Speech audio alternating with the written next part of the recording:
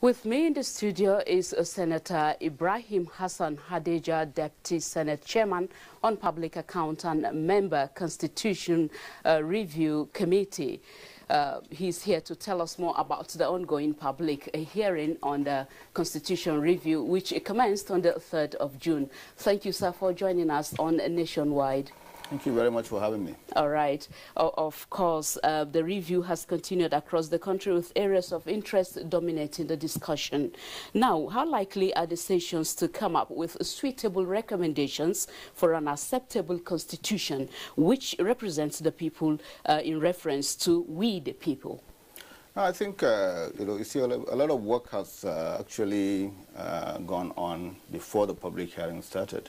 Uh, the uh, Senate Committee on the Constitutional Review was broken up into uh, subcommittees, which has been working for almost uh, three months. Mm -hmm. You get a lot of bills uh, that uh, require an amendment to the Constitution before they go through. You know, you get a lot of memoranda even before it started. So what we did was we broke out into these subcommittees and tried to identify, you know, proposed legislation that required constitutional amendment. We kept it apart. And then we uh, also got a lot of uh, input from the constituency, uh, from NGOs, uh, from women groups. Uh, and that was what gave rise to the 17 uh, subject matters that were sent out across the country to the zonal public hearings. And then, of course, we came back to Abuja and had the two-day national public hearing, which ended today.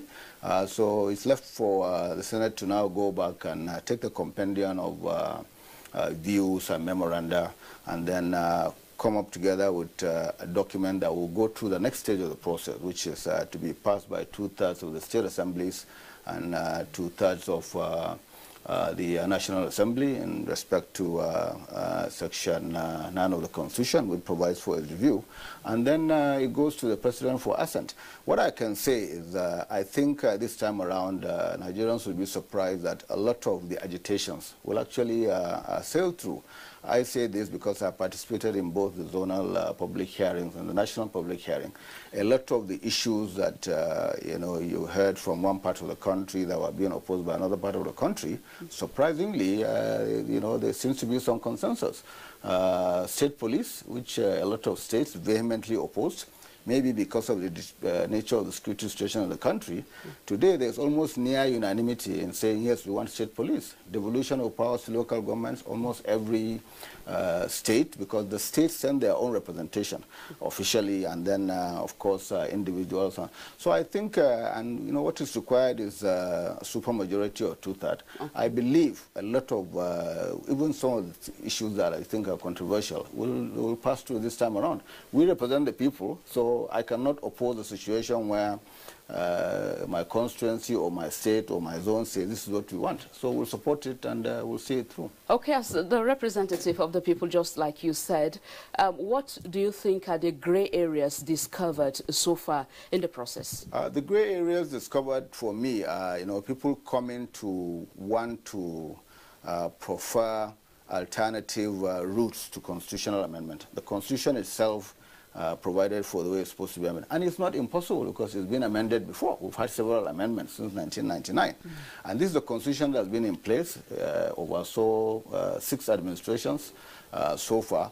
Uh, but then you find some people coming to say, no, uh, today there was an interesting submission that even the process we are going through is not legitimate because somebody believes the constitution itself is illegitimate.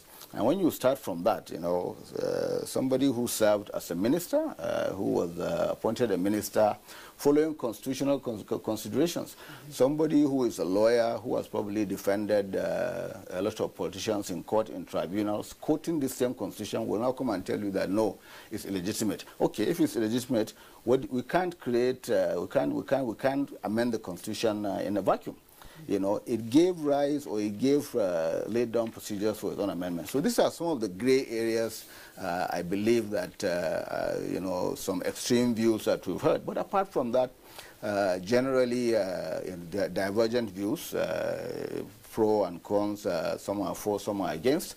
Uh, and I think at the end of the day, when we finally uh, put our heads together, we'll come up with uh, a large percentage of those uh, recommendations that I think would go through uh, the two-thirds passage that is required to effect a change. All right. Now, should an average Nigeria believe in this amendment process and when it eventually scales through? I think so. Uh, uh, the, this, you know, I, we've never had a public hearing that was this open before. No holds barred. Uh, everything was entertained, uh, from the practical to the ridiculous. Come and, uh, uh, you know, express your views. And very wide and diverse range of memoranda. Today we had via Zoom memoranda from Nigerians in the diaspora from like uh, 15 different countries. So I haven't seen a situation where this kind of uh, democracy in discourse uh, has taken place in respect to uh, the change. And I want to tell them uh, it was open, you know, there was nothing hidden. We didn't have any secret meetings. Whatever you say, eventually uh, you can uh, cross-check it uh, when we finish our own processes and present it to the general public again mm. before it goes to the process of going to the uh, uh states assembly and then coming back to the national assembly. If at any point in time you believe uh, we can't leave it open because then of course uh, we'll probably be caught up in the sheer mass of recommendations. That was why we gave those 17 uh, uh, guidelines, which in turn were derived from the two or three months of meetings that we had. Okay. And Nigerians generally agreed to stay within those 17, uh, uh you know, subtopics. And uh, what we got, uh, you know, we'll put together and we'll present it again before Nigerians. I think even the public hearing process itself should generate some kind of uh, confidence from Nigerians expecting to see a change. All right. We hope for better change for our country, Nigeria. We Thank you so, so much for Thank coming you. on Nationwide. Thank you very much for having me. Yes. I've been speaking with Senator Ibrahim Hassan Hadejia. He's the Deputy Senate Chairman on Public Accounts, a member Constitutional Review Committee.